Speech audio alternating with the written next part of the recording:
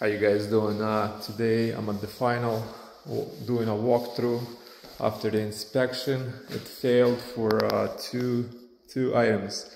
Uh, I didn't mark one of the breakers, and another one is uh, the garage. The inspector wants garage lights to be on arc fault breaker for some reason. I gave him a NEC code uh, reference and it's not requiring, it's not calling for a garage arc fault in 2017 code cycle. Uh, I'm just gonna do a walkthrough real quick uh, on a regular residential dwelling what uh, the code cycle is 2017 and basically make some pointers uh, what you know nowadays required by code in state of Virginia anyway, because uh, even though the code cycle is 2017, it might be slightly different in your jurisdiction. Uh, here we go. I'm making a. So this particular house has a 400 amp service. It's still gonna need a clean up. Uh, left a little note for the, my inspector. So basically, uh, your these are your arc fault breakers, and these are the dual function. These are uh, arc faults and GFI protected circuits. You know, like I basically I put ones for your dishwasher, garbage disposal, and uh, uh, master. The reason why master has a light over the shower and it's got to be uh, GFI protected and obviously arc fault protected. So, and that's the second panel.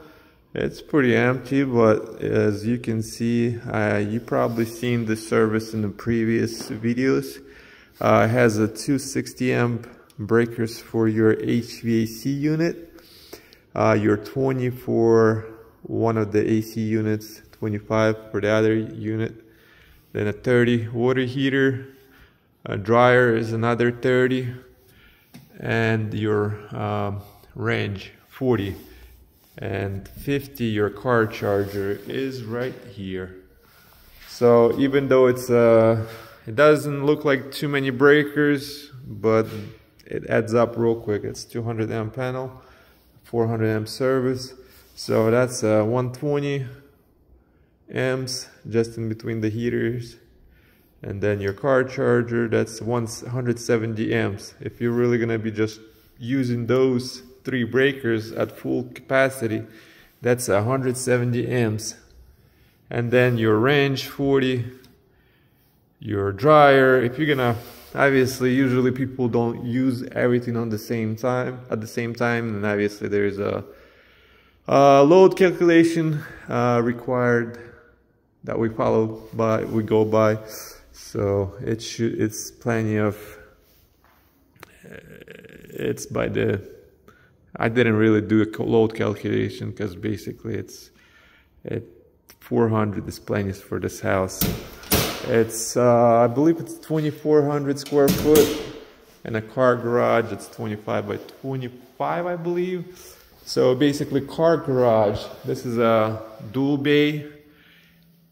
Uh, so each bay is supposed to have its own uh, outlet. So there's one outlet right here, GFI protected, another outlet right here. And obviously there's got to be outlet within 25 feet of your um, water heater or AC for service purposes. And there is one. There's uh, two garage outlets for garage door uh, openers. This right here that's the access to your grounding system. So if, uh, I guess if for future reference, if, uh, if they're gonna decide to uh, do a service upgrade, they have uh, access and they can see where the grounding is. It's basically a rebar comes out of the uh, your footing and basically you put a clamp here and a, a bare copper goes up to the first panel and then jumps to the second one. Uh, there is no copper water lines, it's all plastic, so we don't have to use any other grounding systems besides the footing. Alright, once you walk in, you're supposed to have a switches, at least a switch to uh, turn lights on. It's a three-way. Then you have your island lights. This is on the single pole. Uh, island's supposed to have at least an, an one outlet. Right here, GFI protected. You're supposed to have, uh, well, it's a dedicated refrigerator circuit on arc fault breaker. Uh, these kitchen, uh, it's supposed to have two kitchen uh, countertop outlets, dedicated circuits, just for this purpose. Uh, it's uh, arc fault no, these are not. Uh, Virginia doesn't require kitchen, bathroom, GFIs. They're not. They don't have to be on arc fault breakers. Uh, I'm sure in your state, most likely you do have to have it on arc fault breaker. Uh, basically, this is a disposal switch outlet outlet. If the outlet's gotta have a uh, you gotta have a countertop outlet uh, every two feet, well, two feet from the edge and then four feet apart. That way, if you're gonna have a like a coffee maker and the cord is only two feet, you can reach each, uh, you know, in either or direction. Microwave dedicated circuit, uh, range 40 amp, uh, outlet behind on the floor. Then this right here, I don't really usually do it like that. It's a two different uh, gain boxes. It's just the way the framing was. There was no space for me to put um, uh, to put a five gain. Actually, the five gain at the time I couldn't find the five gain plate in this configuration, so I end up putting uh, three gain and a two gain. And since there was no not enough space between the joists and this counter space is limited, I had to do it what I, you know, with two separate boxes. Usually if there would be enough space, I would space it out and have some space in between the two, two gain and three gain, but this wasn't the case.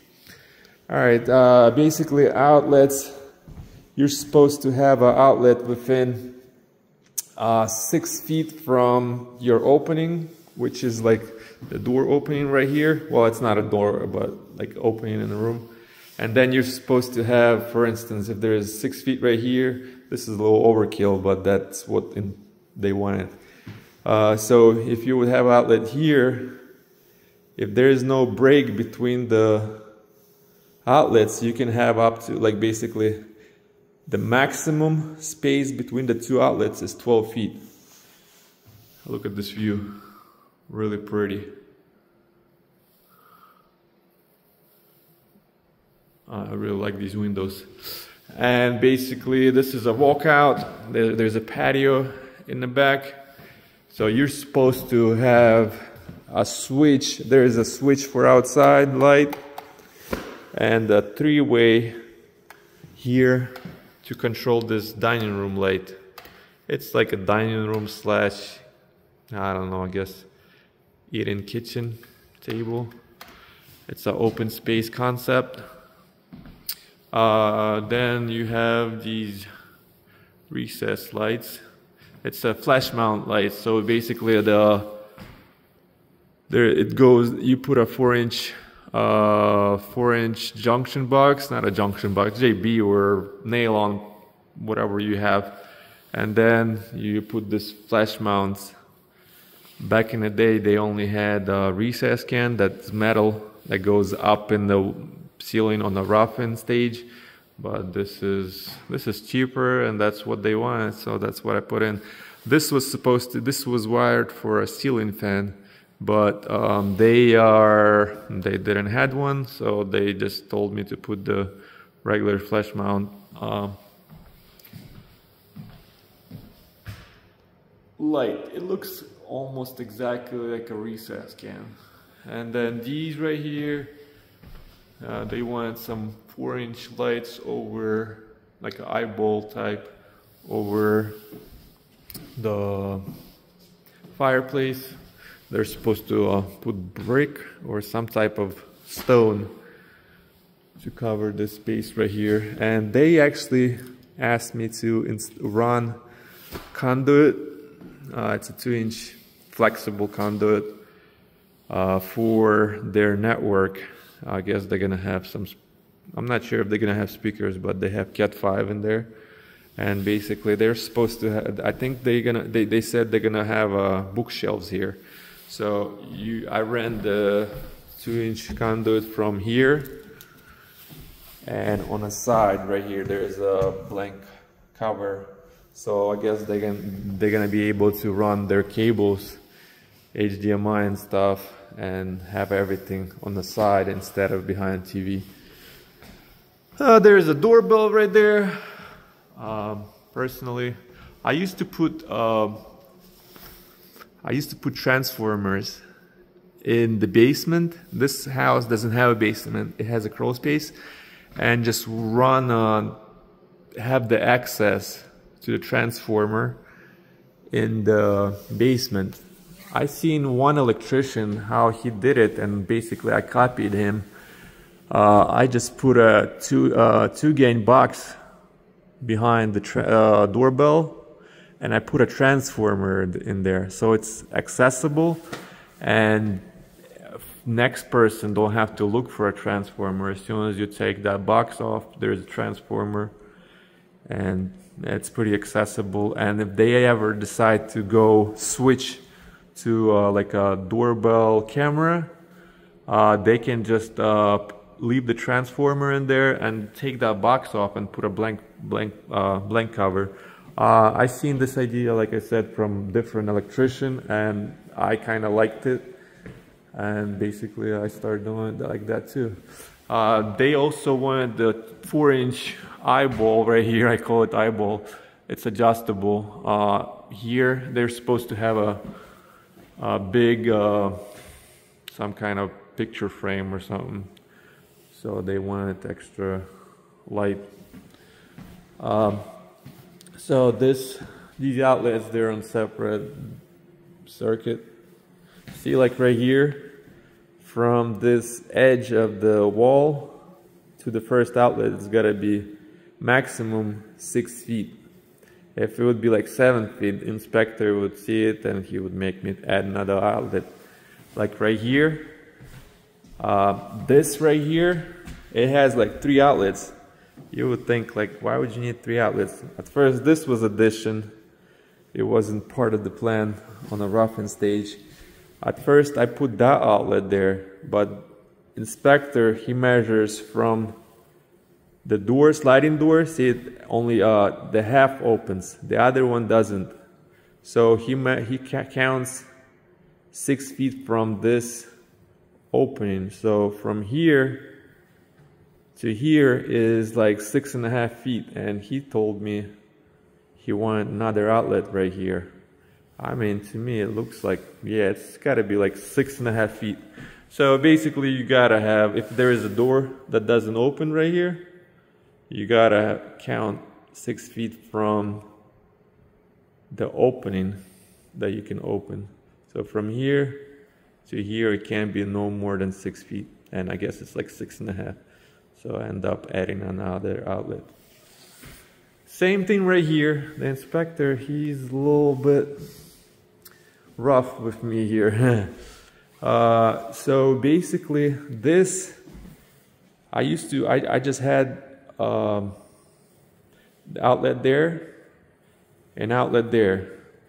Uh, your uh, dining room supposed to have a 20 amp circuit. So I had a 20 amp right there and a 15 amp there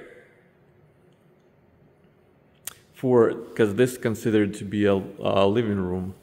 Well, he made me add another outlet right there because he he said this is a dining room and you're supposed to have another outlet. So uh, I'm not a fighter, you know, when it comes to code, even though to me it doesn't make much sense. But if the inspector wants it certain way, it's just easier to say, yes, sir, I'll move it, I'll add it instead of fighting. And then if you're going to be on the on his blacklist, it's going to be a nightmare. So obviously I had to add an outlet behind the fireplace. Uh, each uh, front outside supposed to have a outlet. So there's outlet there. There's it's supposed to have an outlet in the back. So it has an outlet in the back and it's supposed to have an outlet, service outlet within 25 feet from the AC HVAC unit. AC unit outdoor, a condensing unit. So that's what I had to do. I had to put another outlet by uh, HVAC on the side of the house. Uh, each bathroom, usually the way I do it, your first switch is your vanity. Your second one is the bath uh, fan light. And third one is your exhaust bath fan. Pretty simple setup. Uh, this is the hallway. This is their office. They actually requested me to put these track lights on each side of the room. Uh, they actually look pretty, pretty cool. Took me a little bit longer to uh, line them up and assemble them. It was like a custom order. Uh, they're supposed to have pictures on the frame, on the wall, or drawing, whatever uh, art, some kind of art, and they have this light. This is the color lights they wanted. That's what they got, and they wanted dimmers. These are regular toggle dimmers. Pretty simple.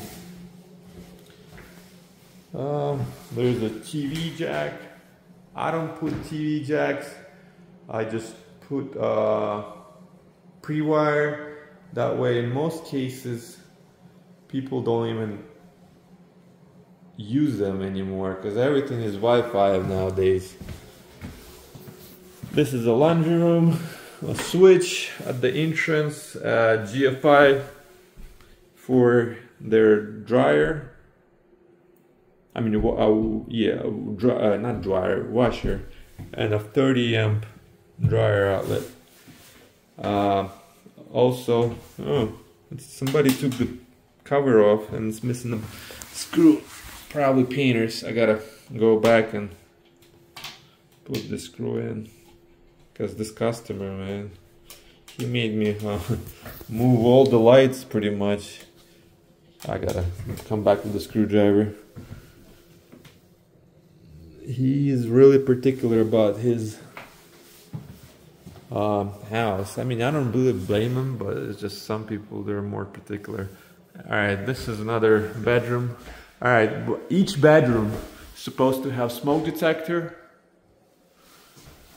and you're supposed to have a carbon monoxide within 10 feet from the bedroom. So basically, there is a master here uh, that could be considered as a bedroom or office. And this one, I put basically in between, so it's uh, within 10 feet each bedroom of a, a carbon monoxide, because they're like 50 bucks a piece. So uh, then you have this uh, master, pretty nice size. I mean, it's probably 14 by 15. So you have a switch here. At first, the door was supposed to swing out this way, so I put a switch in there on that side, and they told me uh, they're gonna have a pocket door. Pocket door usually goes in the wall, so you can't have any obstruction. And then they changed their mind and they, they put a barn door, which looks pretty good. I mean, I guess whoever likes these kind of doors. Same thing here. At first I put these switches on this side right here, which makes sense because the door was supposed to swing out. But then customer did a changeover and he wanted the pocket door like this. So obviously pocket door goes inside of the wall and obviously if you had the switches here it would not open or close. So I had to relocate the switches. Oh, this is a bathroom, just typical bath fan light combo. On two single poles. Then this customer wants these hanging pendant lights. So I had to uh, put them in. I had these lights on the down rods, they were lower. He requested me to uh, bring them up, so I had to take it off and bring those up. All right, another code right here. It's a double sink. If you have a double sink, uh, you gotta have two outlets on each side of the sink. These are regular outlets, uh, but there are there are uh, GFI protected. The GFI is in the other bathroom, so you got four bathrooms, and they're on the same circuit. I mean, that's you can have up to I think 10, 10, uh, 10 outlets on 20 amp circuit. I mean, yeah, if you're gonna have two, three uh, hair dryers running at the same time, it will trip. But we're just going by the code. All right, uh, let's go upstairs. This is this kitchen is pretty nice. Oh, another thing, they wanted uh, under cabinet lights. So this switch, this switch, I ran a switch leg from here to this pantry room.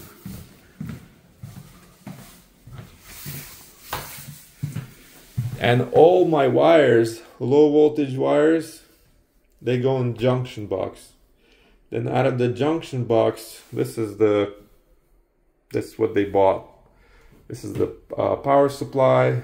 I think it's, I mean, to me, I would put a little bit bigger than this. What is it? Uh, output 12 volts, 2 amps. I guess 2 amps, not too bad. So then this outlet being controlled by that switch that I showed you. So that's really easier location to service it. I'm sure they're gonna have some kind of shelves here eventually, but if they if they ever just if they'll ever need to change this power supply, it's accessible instead of putting it inside of the cabinets. And a lot of times when I'm doing a final, they don't have the cabinets even yet. So this is how I did it. You got low voltage wires coming out and you got this light. I mean, I don't really like the way the wires are. I use the um, hot glue to glue the wire up to the cabinet. Uh, I wish these jackets they had they were they had a white jacket but that's all I had at Home Depot when I was buying it. It was if it would be white, it would look a lot nicer, but unfortunately that's what I had. Oh, and this fan, at first they bought regular fan without the down rod. Well, actually they did have down rod, but it was like only eight inches. So the ceiling fan was almost touching the ceiling. Then they looked at it and they decided to change it and put this uh, like a two foot down rod it looks nicer. Alright, now we're going up. Alright, this stairway, I believe the code requires if there is a uh, four steps, I think. Uh, I could be wrong. If it has more steps than probably a couple, then you gotta have a three-way. Well, anytime there's a stairway, I put a three-way. So you got a three-way for the lights here. And you can control these lights from the other side from upstairs right here. So I put another, another carbon right here. And this is a bonus room. It's pretty big size, pretty good size. They want on uh, dimmers, on dimmer. So it's a three-way dimmer. So same code for the outlets. See this is this is about 10 feet from one outlet to the other. And there's a TV uh, jack, TV pre-wire. Then you have this walk-in closet. I put a light here, light switch and light this right here once you open that's like a walk-in um, utility whatever room. So you have a switch here that controls the light for service and you're supposed to have a service outlet in case if somebody HVAC person have to work on this unit. He has a plug-in well, back in the day, all your power tools used to be uh, corded, you know. Nowadays, before I used to uh, carry a generator with me to like use it for a drill and stuff. Everything nowadays is cord uh, uh, cordless. So I don't know. To me, if you run a business and you still use corded tools, you're missing out. So this is a storage so you're supposed to have a light.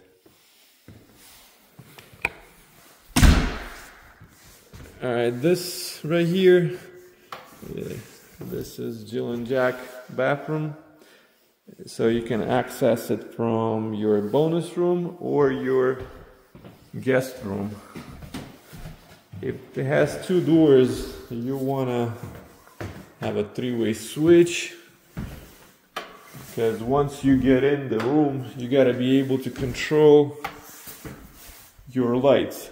So I put a three-way for uh, the vanity lights the single pole for your fan light and a single pole for your exhaust fan.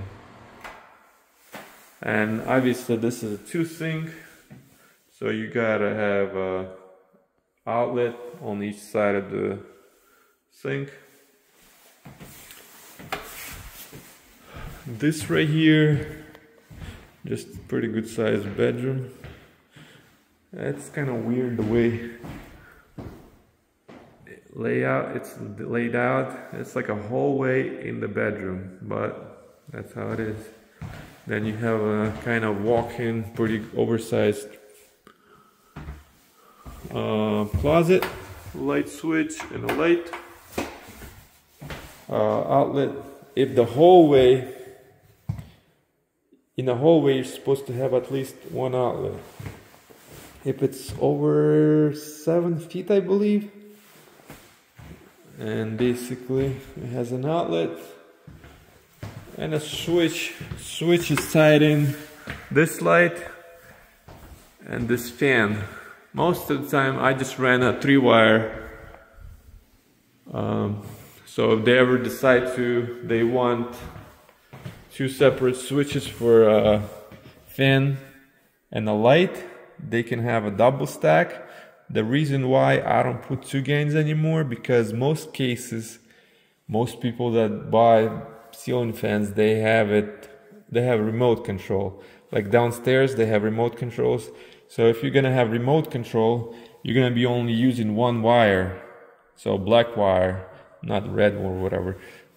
Uh, so then I used to put two gains and two switches, and one switch would be doing nothing. It would be like people would be asking, "What is that switch for?" So I just start running uh, 14.3, but just putting a single gain. If a customer, some random customer, gonna want two switch, two separate switches, and not gonna want to use a remote control, I can just put a double stack. So that's that, and that's pretty much it. We're just gonna go outside and uh, look at the units.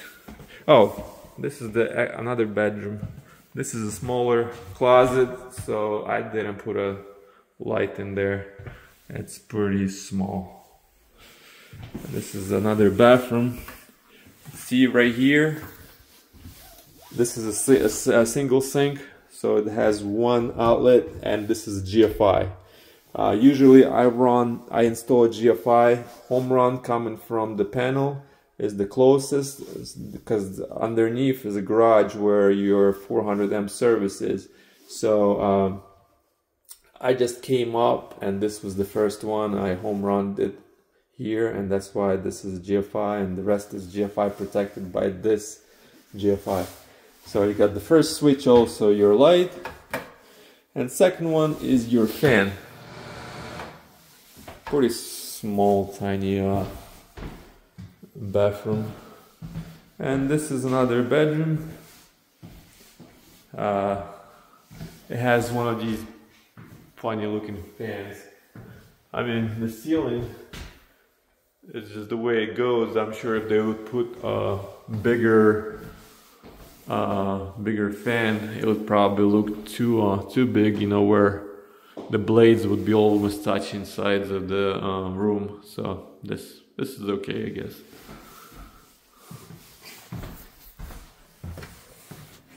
All right, we're going downstairs and outside.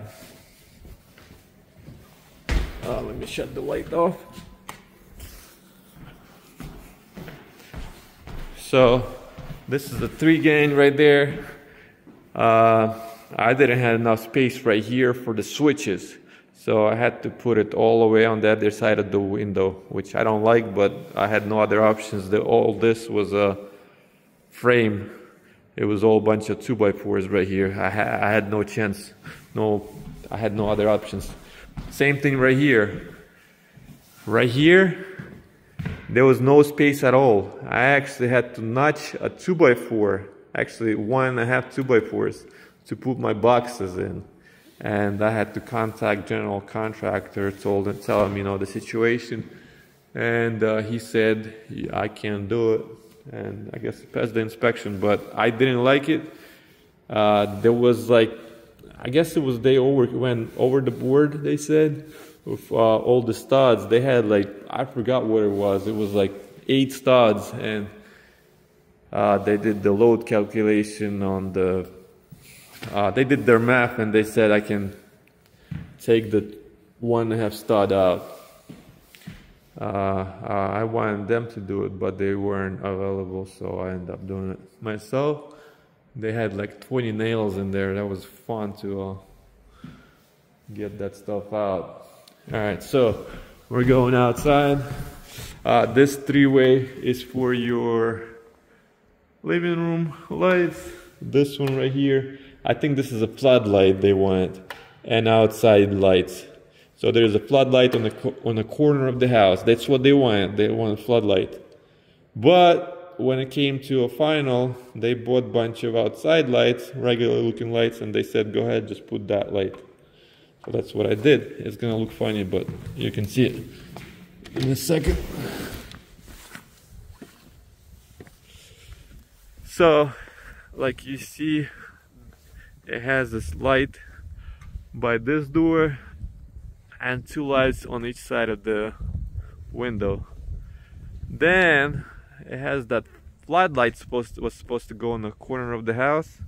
It's mod. So uh, uh maybe hold on. Let me close this door because I'm not going through the I'm not gonna be going well I'll just come outside from the other side this is garage.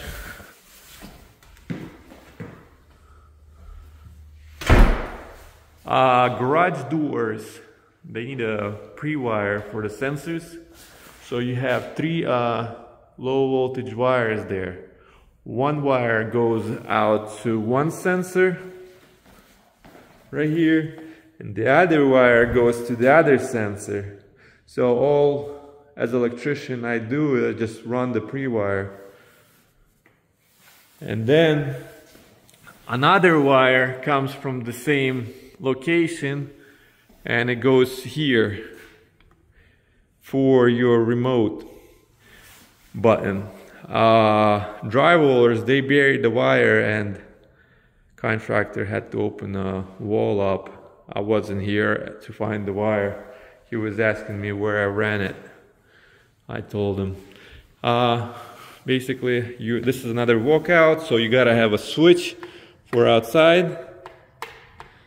Uh, these outside lights they are on uh, photocell so even though the switch is on it's not gonna be on unless you cover the eye. Um, and this is a three-way that controls from two locations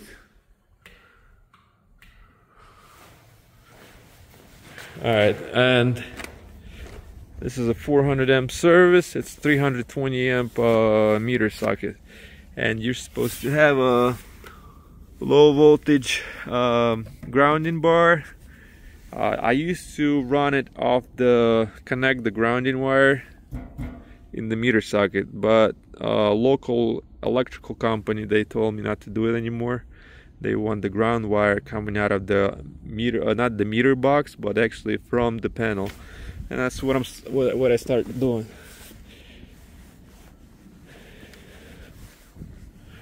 So this is the front of the house. It has a bunch of lights actually. One, two, three, four. For their front. Then they have the pendant light by the door. Doorbell button right there. An outlet. Alright, let's go look at the back or side. The elevation wasn't done completely yet so uh, so you have this service outlet right here it's got to be within 25 feet from the H uh, from the AC units these AC units you're supposed to have a disconnect service disconnect for each one. Uh, you're supposed to have a strap within I believe 12 feet 12 inches. And then it goes connects to the each unit. So that's pretty much it. I mean they they're trying to get it done ASAP so uh, I think I'm pretty sure we're done we did what inspector wanted us to and hopefully people gonna be moving in pretty soon Alright guys, till the next time.